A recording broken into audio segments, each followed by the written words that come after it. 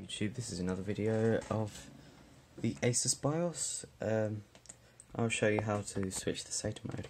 First of all, you're going to start up in this or whatever. Now you can hover down here, go advanced mode. Just move out this way, this water bottle. Um, or press F7 as it's got on there.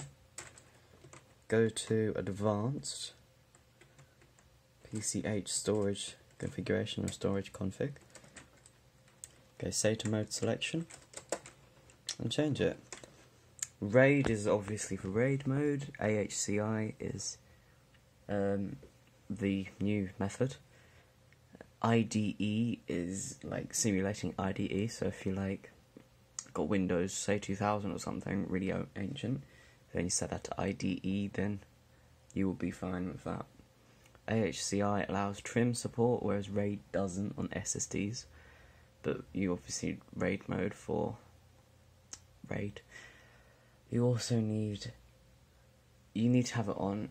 I think it's a yeah AHCI for Intel Rapid Storage Technology, which is if you go on easy mode by pressing F7 and go in here, that's that's switch it on and off. I don't use this technology, so I just have it off. That makes it easier. So yeah, that about sums it up for this video. Goodbye.